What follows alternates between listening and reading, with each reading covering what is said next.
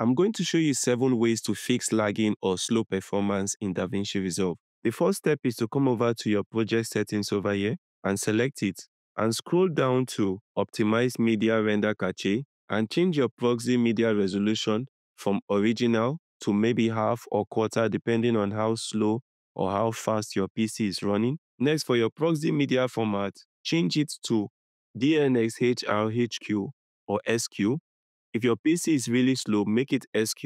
I'm going to leave it at HQ. Then scroll down to optimize media format and change it also to DNxHRHQ. But if your PC is running slow, you want to change all of these to SQ for standard quality and come down over here and hit save. The next thing you want to do is to edit with proxies. So come over to your media pool and highlight your clips over here and right click and scroll down and select generate proxy media this may take time depending on the speed of your PC. Now you can drag these files onto your timeline over here.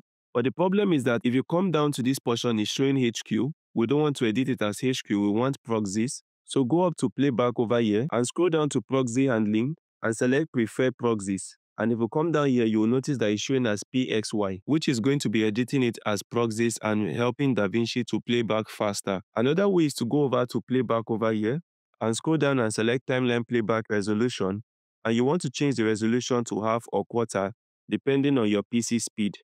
Also come over to playback over here and scroll down to delete render cache and delete all unused cache files that can be slowing down your PC.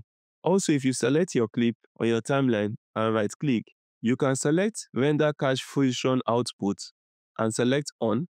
And if you click it once more, you can also select render cache color output and also, if you notice that there's a particular portion on your timeline where it begins to slow down, for example, I have some files over here, and let's say within this region over here, it begins to slow down.